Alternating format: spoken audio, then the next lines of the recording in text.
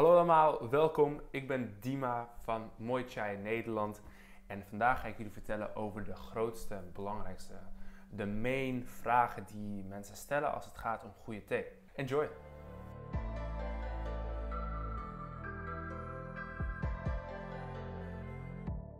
Vandaag begin ik met het drinken van een uh, witte Shenpuer. Maar voordat ik vertel wat het nou eigenlijk is, uh, moet ik jullie vertellen over de verschillende theesoorten die er bestaan.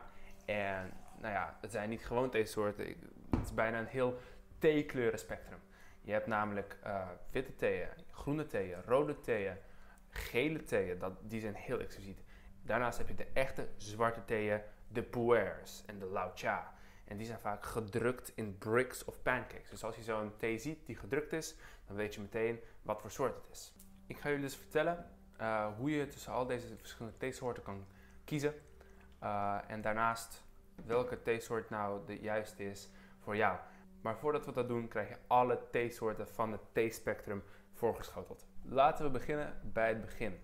Het belangrijkste verschil tussen al deze kleuren theeën is uh, de fermentatie die ze ondergaan, plus uh, hoe lang ze gerijpt worden. Dus de rijping en de fermentatie zijn verschillend, maar de theeplant zelf is hetzelfde. Er zijn namelijk maar een paar theeplanten, zoals je het kan noemen. De, je hebt de Camellia samica, je hebt de Camellia sinensis en dat is de meest gangbare plant. Daarnaast heb je nog allemaal kleine subsoorten zoals de Camellia japonica, maar de meest uh, gangbare is de Camellia sinensis. En die vind je terug in groene, zwarte, rode thee, puers, eigenlijk overal. Behalve in India, want daar groeit dan weer de Camellia assamica. Je vraagt je misschien af, waarom spoel ik de thee, uh, het theewaar? En dat komt omdat ik wil dat uh, de, de, kopjes verwarmd blijven, zoals, ook als het theepot. Omdat als dit niet gebeurt, de thee geen kans heeft om zichzelf te ontpoppen. Dus het is eigenlijk uh, daarvoor en daarnaast geven we ook een beetje water en thee aan onze theepad. Nou ja, zoals je ziet is hij heel hongerig daarvoor. Dus als we beginnen bij de lichtste fermentatiegraad komen we aan bij witte thee. En witte thee heeft de lichtste fermentatie en wordt ook het minst bewerkt. Dus in feite is het uh, een van de meest exquisiete theeën, maar ook een van de meest simpele. Dus uh, in de bewerking komt er niet veel bij kijken. Uh, ze worden geplukt, daarna worden ze twee, drie dagen gedroogd. En qua fermentatie is de fermentatie ook heel licht. Dus daarom is de thee zelf ook heel licht. En ik zeg nu wel heel vaak fermentatie, maar hier krijg je te horen wat het nou eigenlijk is.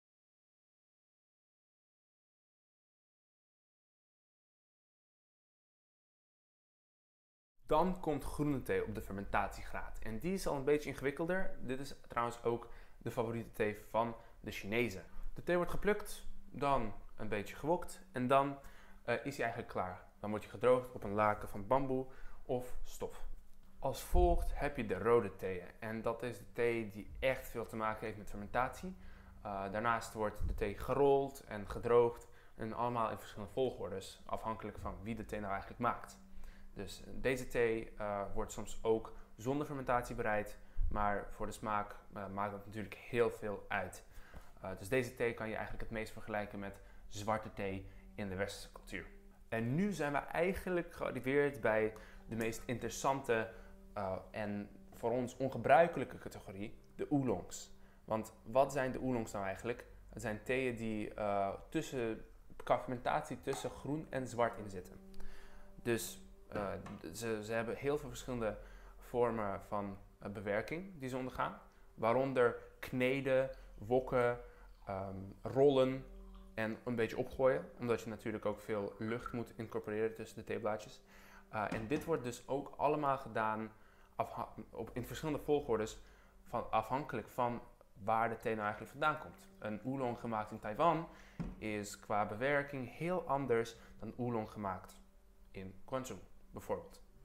Uh, waar dit voor zorgt is een hele bijzondere, rijke, notige uh, of honingachtige smaak. En oolongs zijn extreem verschillend. Dus het hangt er echt vanaf hoe je maakt. Je kan er noten vinden van fruit of zoals ik al zei, honey. Uh, en dit zijn de theeën die het meest veelzijdig zijn. Dus als je een beginner bent, zijn oolongs meestal de thee die je zoekt. Omdat uh, je meteen het verschil kan proeven tussen de mass market theeën die je koopt in de supermarkt en een echte goede oolong. Dus je zal sowieso niet disappointed zijn. Het belangrijkste wat je hoort te weten over een oolong is dat je donkere oolongs hebt en daarnaast heb je ook lichte oolongs. En allebei hebben ze hele verschillende taste notes. Maar het is ook weer te generaliserend om te zeggen dat de ene uh, nodig is en de andere bijvoorbeeld heel zoet. Maar lichtere oolongs hebben vaak ook andere effecten dan een donkere oolong. Dus daarnaast heb je ook nog GABA oolongs, maar daar kunnen we een hele andere video over maken. Dus misschien zie je in de description of hier of daar nog een linkje terug uh, voor zo'n video. Want natuurlijk gaan we heel veel content maken om jullie zoveel mogelijk te vertellen over thee. En de laatste categorie, die misschien het meest interessantst is uh, voor een beginner, is puer. Puer is een zwarte thee, dus dat, dat is een echte zwarte thee, die als een vervanger voor koffie gebruikt wordt door veel mensen. Omdat hij, zijn belangrijkste kenmerk qua effecten is dat hij je gewoon super hard boost. Dus als je bij mm, koffie een piek en een crash hebt, meteen daarna is puer vaak bijvoorbeeld 5 uur van constante energie. En dat maakt hem zo nice en sterk. Dus het belangrijkste over puer, hecha en laucha is dat het een hele bijzondere theesoort is die ook een bijzondere approach moet uh, krijgen. Een belangrijk ander puntje is dat puer vaak wordt gezien als mysterieus en misschien duur, maar dat is helemaal niet per se waar. Omdat je nog alsnog uh, gewoon cakes en bricks kan vinden van bijvoorbeeld 350 gram voor 15 euro.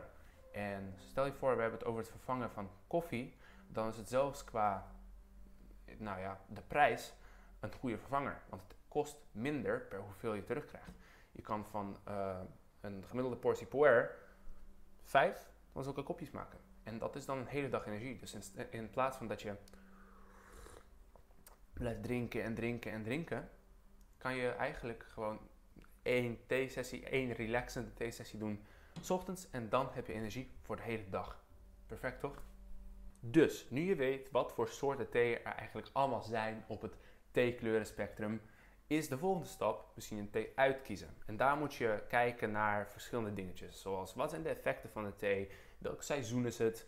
Uh, in welke mood ben je? En is het ochtend, ochtends of s avonds? Dat allemaal beïnvloedt de keuze.